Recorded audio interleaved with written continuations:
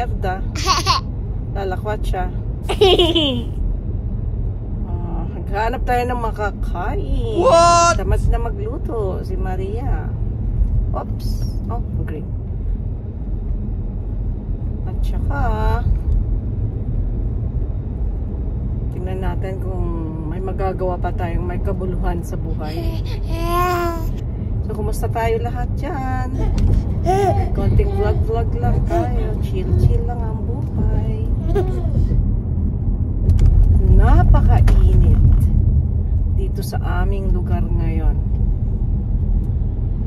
Malapit na naman matatapos itong summer. Kaya mga kasabayan lalaki. Pakatabi ngayon ang camera. Pagtyagaan nyo na muna.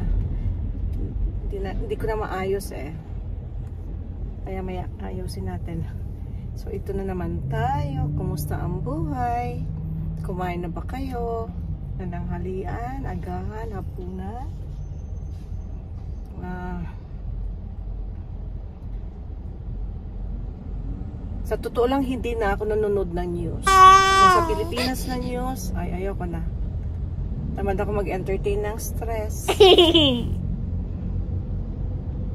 Kailangan focus tayo. Eye on the ball. Kumbaga, focus tayo doon sa ating goal, sa ating gustong marating, ang ating gustong abutin sa buhay natin, lalo na sa pamilya, sa mga anak. Dapat doon tayo nakafocus. Ay, huwag ka nang humabol. Ang haba mo pa eh. Daming ano, parang mga cargo truck sa tawag nito. Ate yung ilong ko ah. Nangulangot naman ako.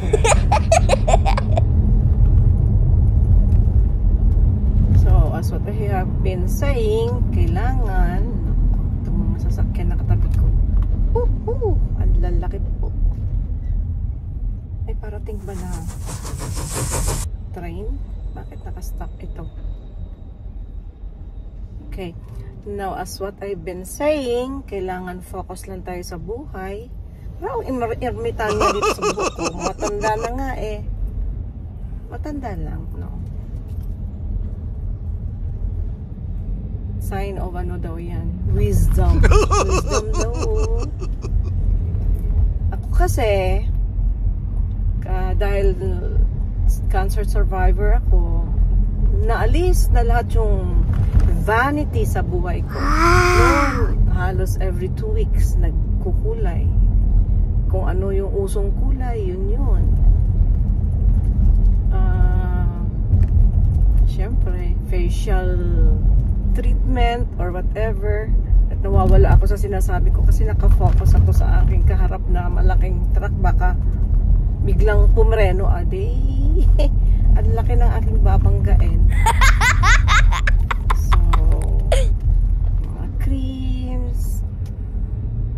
Lagi din akong um, laman ng parlor. Pero ngayon wala. Pag tumatanda ka, yung priorities mo sa buhay, iba na. Kumbaga, nadaanan mo na yun eh. Nalampasan mo na yun. Parang katulad sa nag-aasawang maaga pa. No? Karamihan sa mga yan, may mga crisis talaga sa buhay. This is not based on experience, but based on studies. Tsaka facts na yung mga nag-aasawa ng maaga ay ah, hindi nakapag-enjoy ng kanilang pagkadalaga or binata. What? sila nagkaroon ng responsibilidad sa buhay. Hindi ako makalipat ng lane kasi ang lalaki ng aking katabi. Now, kaya minsan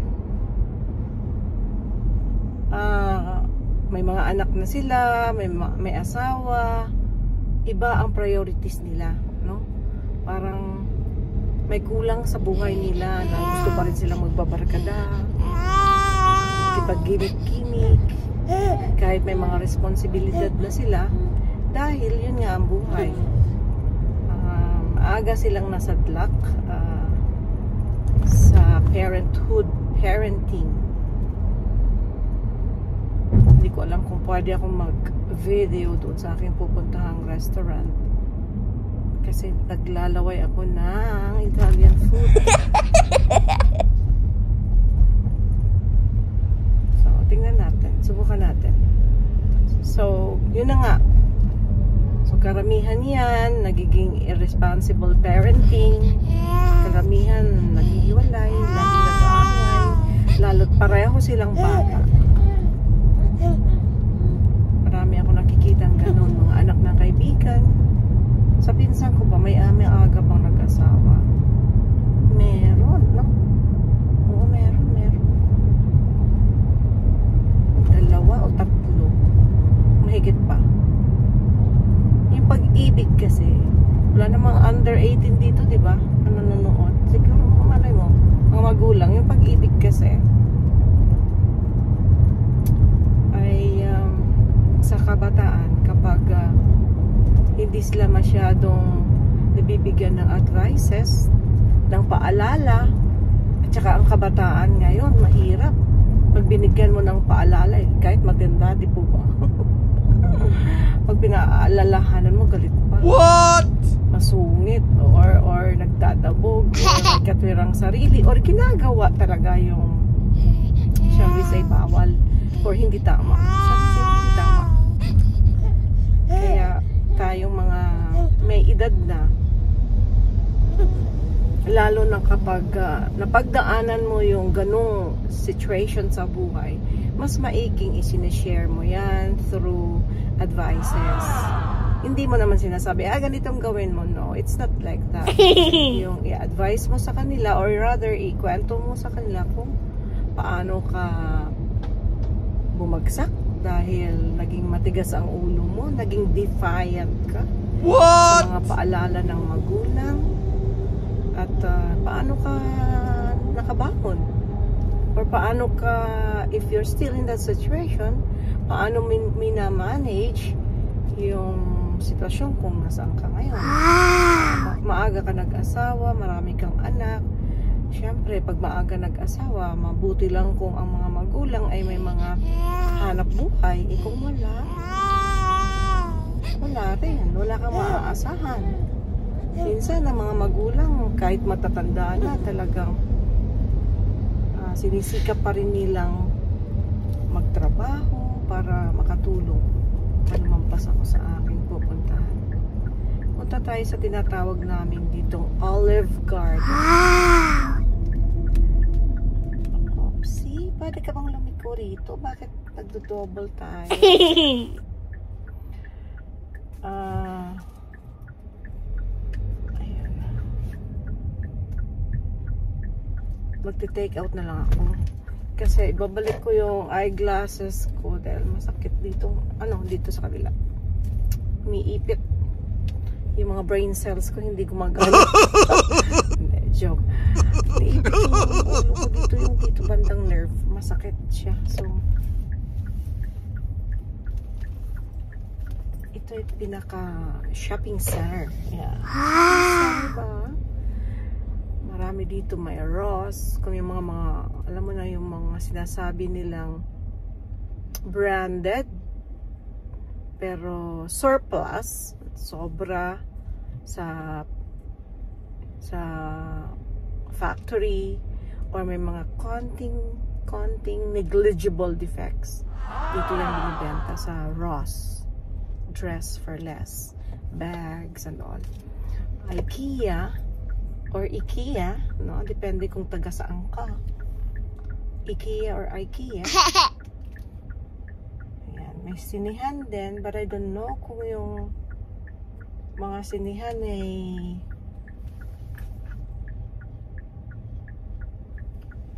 bukas na I think bukas na pero limited yung laman. Burlington, Aldi. Ayan, nandun yung aking favorite. Hindi siya talaga shall we say ay, dedicated na huwag mo sabihin dito ka lalabas yung arrow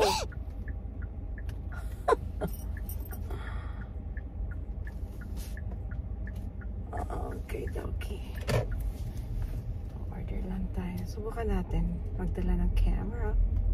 Kung bawal, syempre, wag. Kapag bawal, wag. Pag hindi pwede, huwag itin. Ah, ito pwede dito. To go. Okay, to go. Mhm. Kuha tayo ng umbrello. To go, to go, to go.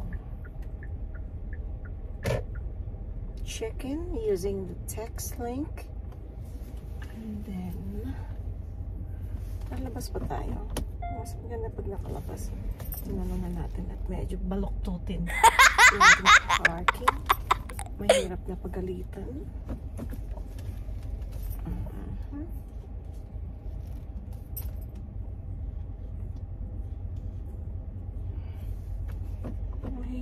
Ako sa gutom ah. Ah! Tama ba? Compact parking kasi ere eh. Okay. Tingnan natin. Kung pwede. Saka syempre may mask. Mhm. Cloth ako muna. Tsaka ako mag-surgical.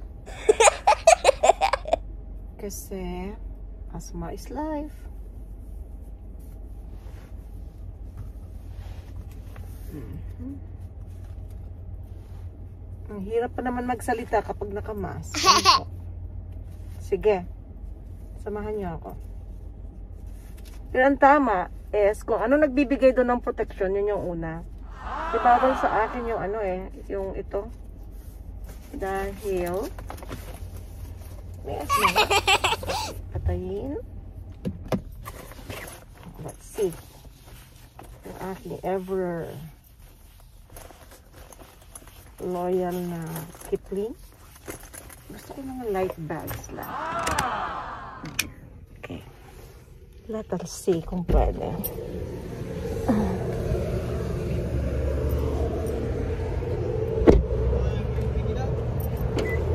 Hi. I'm actually gonna just order and take out. Okay?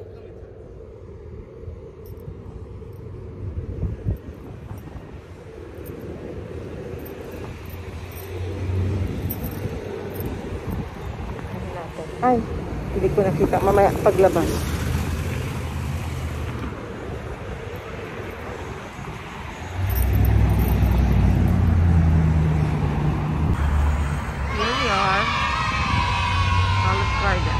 Tingnan natin kung pwedeng pumasok at mag-camera. Ah.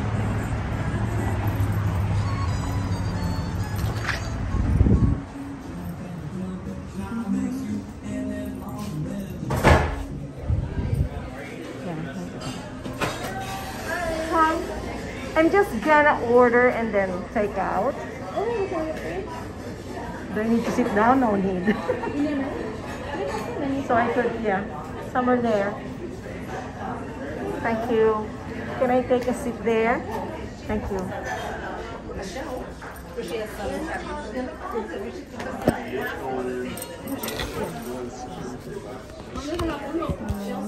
gosh. Hindi ko makita. Dahil wala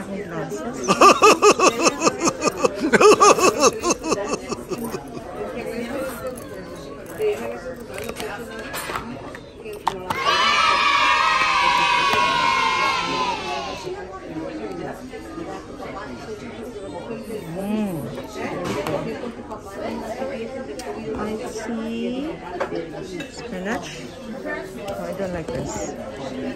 I like di fettuccine alfredo. Like this. And then a salad and um, maybe I shall get um, what else? What else? Fettuccine lasagna classico. What? Lasagna classico. And then salad. That's what they're gonna do. Okay. So, bawal ang maglagay ng camera. So, mukha ko lang ipapakita ko. Para order. Olive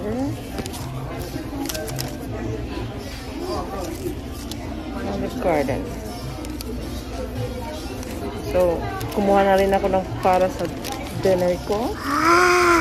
At saka, para sa lunch ko. With salad. Tsaka soup. Ang daming tao kasi lunch time.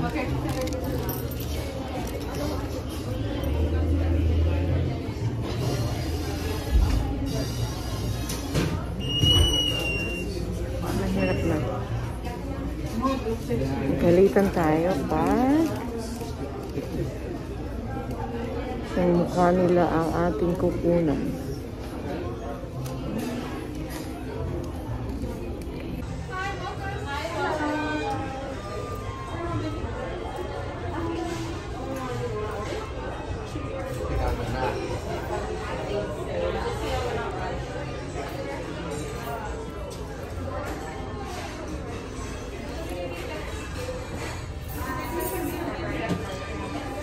Punong-puno. As in, super puno. Papakita ko sa inyo yung vlog. Rice cake si Maria.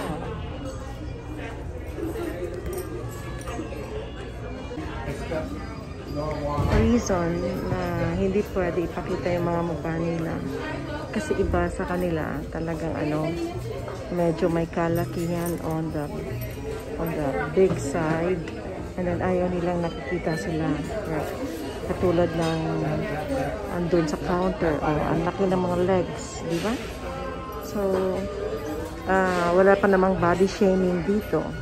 Kung hindi maririnig yung aking ano walang body, ba, bawal ang body shaming dito. At saka bawal yung kukutsain mo sila tatanungin mo sila bakit mataba sila ito, ganito, ganito ang culture dito.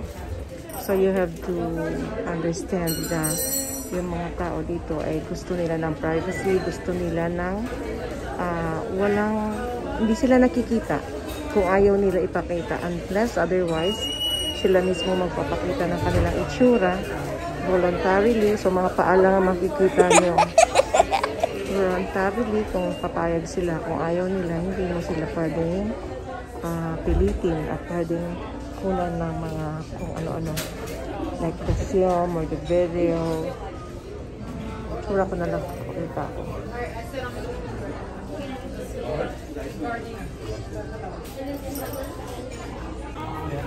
Nagugutom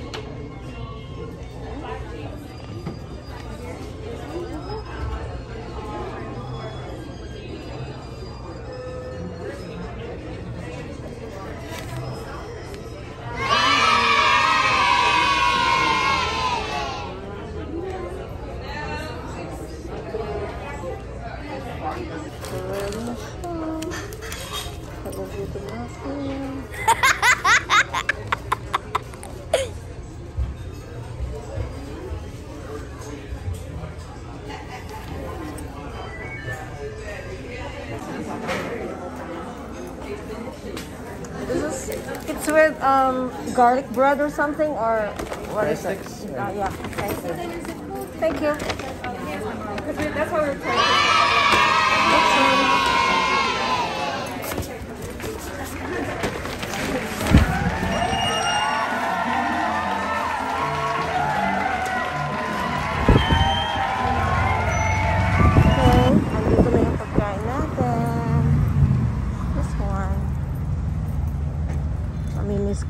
mag-Italian food. So, andyan yung sinasabi ko. Mga other stores. May banks. Um, ako. Mahirap. Dito pala yun. May kasalubong kasi ako kaya Right.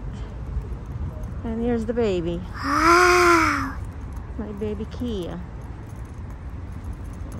Okay. Oopsie. There you go.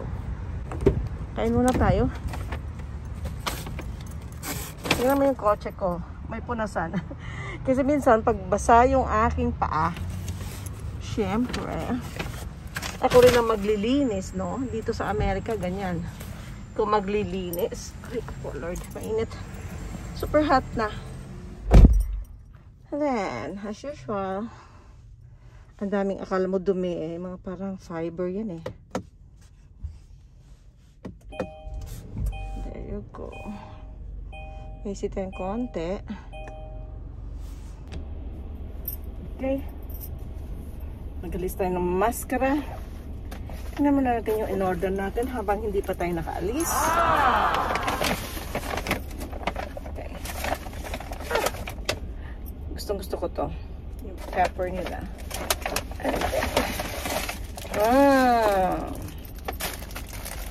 Saan na yung aking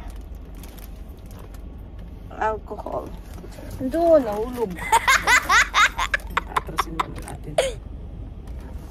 Aray ko. Hindi maabot eh. Oh, oh, oh. Kasi minsan, pag tumatakbo ka, tapos biglang, uh, tawag na to, pipreno ka.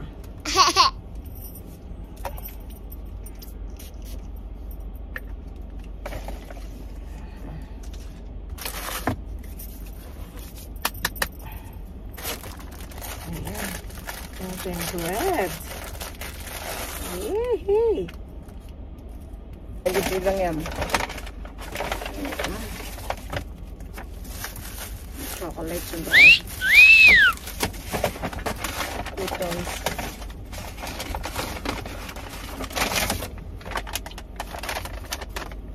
Ano yan? Kaya, nag-unbox din. Sabi ganun eh.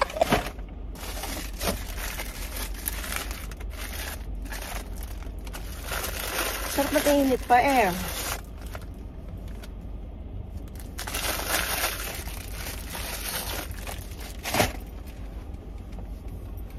May garlic na konti.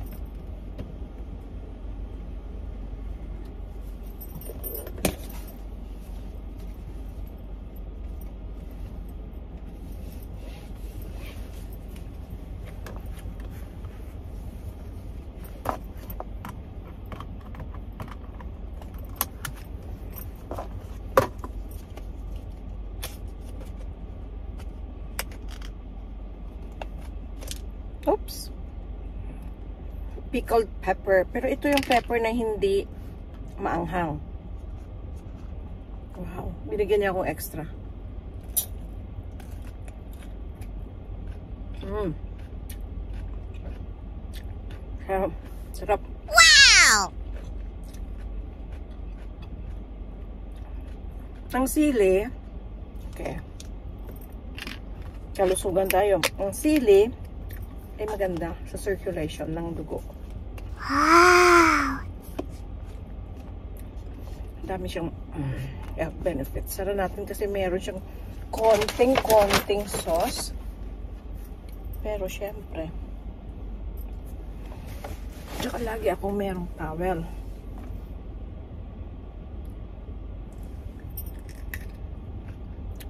Hindi ko kinakain yung buto.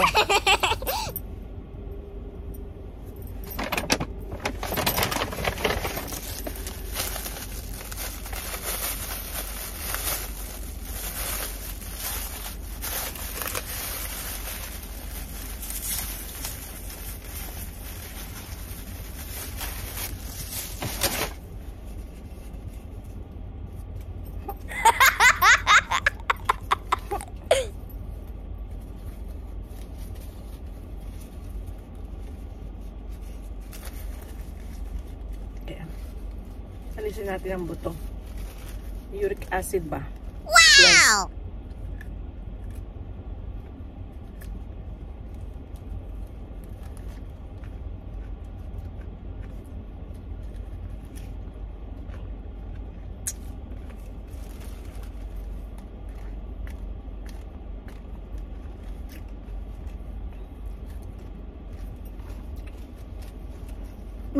siya pero hindi siya masyadong maanghang. What? Yung bearable.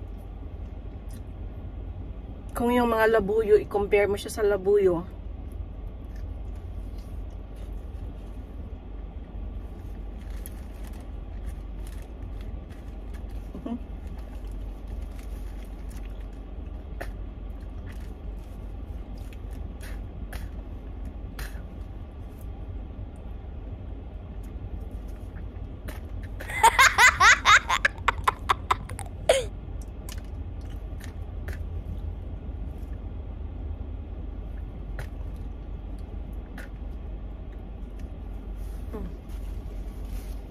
maanghang. Pero hindi maanghang, maanghang, maanghang na maanghang. Bearable. Kung sa mga labuyo siya i-compare, parang grade 1 ito. Ang may kick lang. Okay.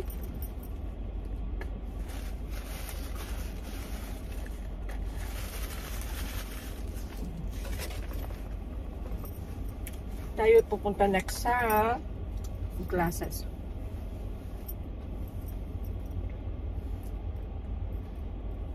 Hmm. May buto.